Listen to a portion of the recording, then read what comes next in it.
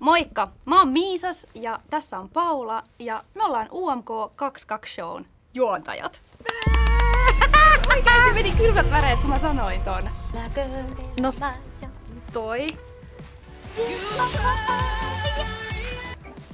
Että josko upeassa UMK-showssa esiintyy Meidät on haastettu pelaamaan sellaista peliä, missä me muistellaan ekoja kertoja.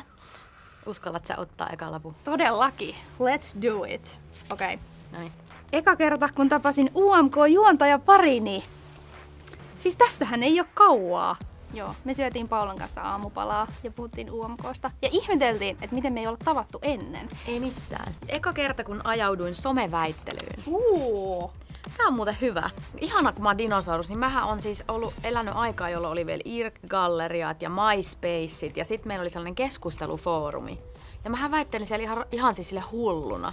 Ootko tota vielä osallistunut someväittelyihin? Mä oon yrittänyt oppia, että mitä kannattaa ja mitä ei. Ja UMK-chatissa pääsee väittelemään sitten 26. helmikuuta siitä, että kuka voittaa. Eka kerta, kun katsoin Euroviisuja. Siis mulla on tähän aika tarkka vastaus. Mä oon syntynyt 95. Eikö 2006 ollut Lordin vuosi?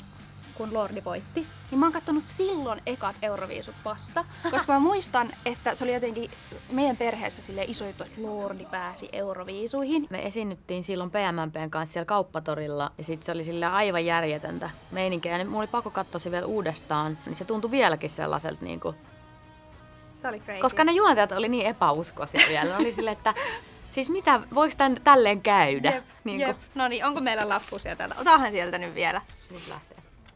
Eka kerta, kun kaduin sopimusta, jonka allekirjoitin. Mun on siis ihan, jos mä oon ihan rehellinen, niin mun eka levytysopparihan oli tosi tosi huono. Kun meidän levy oli sit myynyt kultaa, niin me oltiin silti miinuksella rojalteista. Mutta se korjattiin myöhemmin. Mutta en mä tietenkään kadu, koska sit voi korjata niitä. Rehellisyyden nimissä. Näin se on. Minäkin tein huonot levytyssopimukset. Näin. Eka kerta, kun oma video trendasi somessa, Tämä on sun pakko muistaa. mä tein Cheekin kanssa yhteisvideon. Musta tuntuu, että se meni ykköseksi trendingiin. Mikä se oli? Ää, Me tehtiin tämmönen niinku carpool karaoke-tyyppinen video. Timantit on ikuisia.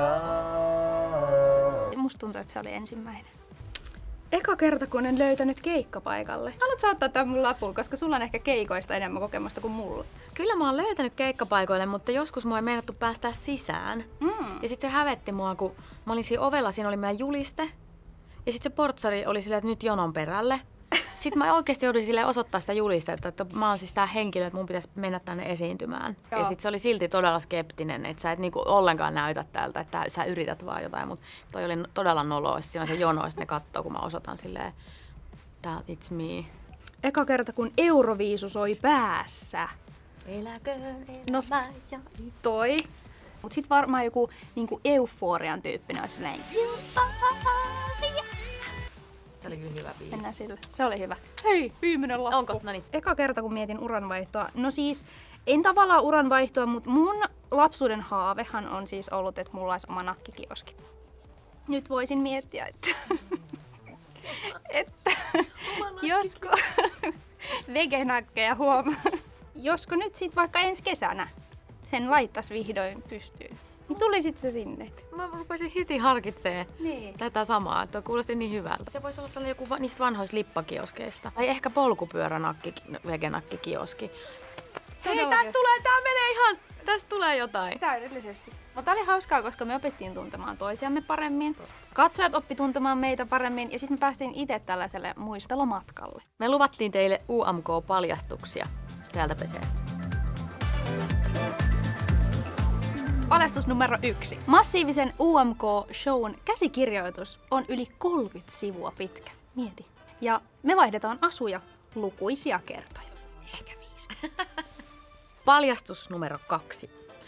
UMK-esityksissä on inspiroiduttu muun muassa puudeleista, kuonokopista, moottoripyöristä ja kaikkein rajuimpana espoolaisesta arjesta. Paljastus numero kolme. Upeassa UMK-showssa esiintyy upea, ilmiömäinen Vesala! Yeah!